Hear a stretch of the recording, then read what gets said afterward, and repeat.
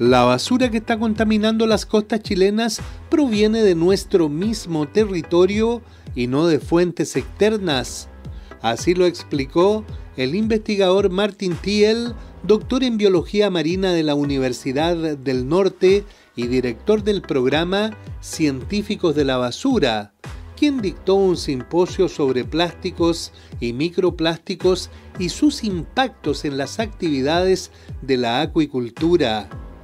La charla fue realizada durante el Día de la Ciencia en el marco de las reuniones anuales del Convenio y del Protocolo de Londres realizadas en el Centro de Instrucción y Capacitación Marítima de la Armada, que reunió a representantes de 45 países. Eh, el programa Científicos de la Basura existe desde el año 2007 y nació en realidad de la necesidad que tenemos de divulgar, de educar a la gente del tema de la basura marina, pero también de la necesidad de eh, generar información científica. Como dice el nombre en este programa, nosotros estamos investigando el problema de la basura en el medio ambiente junto con los escolares y tenemos una red de colegios de todo el país que va desde Arica hasta Punta Arenas, incluyendo a las islas oceánicas que están anualmente haciendo distintas investigaciones. En estas investigaciones yo creo que el resultado más importante que ha surgido de estas investigaciones es que la fuente de la basura que tenemos en las costas y en las playas de Chile son locales. La basura de, de, las costas de Chile viene de Chile, no viene de otros países, no viene del otro lado del océano, no viene del Perú, menos viene de Bolivia, sino viene netamente de Chile. De hecho, si vamos aquí a la playa en Valparaíso, lo más probable es que la mayoría de la basura que encontramos en la playa proviene de aquí mismo, de la ciudad de, de, Valparaíso. No viene de San Antonio, menos de Concepción o de otras partes en Chile, sino de aquí mismo.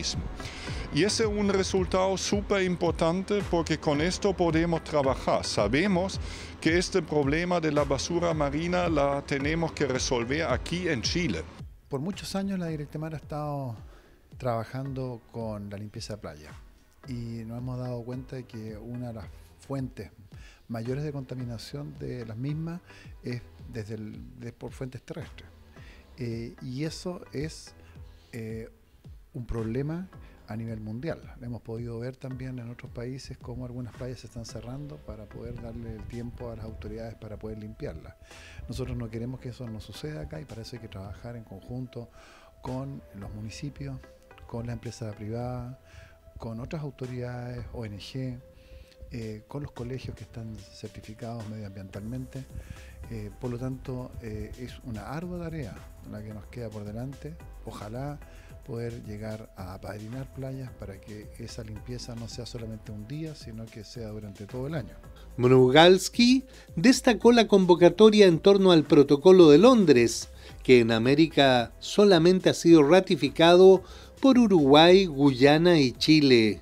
Bueno, para nosotros es un privilegio el tener a un grupo selecto de científicos y gente experta en el tema de la implementación del protocolo de Londres aquí en Chile. Así que en primer lugar eh, les damos la bienvenida a ellos, tal como lo hice en mis palabras en el acto oficial, porque es una oportunidad para interactuar, intercambiar opiniones y poder eh, fomentar además eh, que otros países también se adhieran a este protocolo, que ya lo hemos utilizado aquí en Chile y que ha sido una excelente herramienta de trabajo para la toma de decisiones. De esta forma, nuestro país, a través de su autoridad marítima, reiteró su voluntad de aportar al cumplimiento de la Agenda 2030 de las Naciones Unidas para el Desarrollo Sostenible, que fue ratificada por Chile en el año 2015.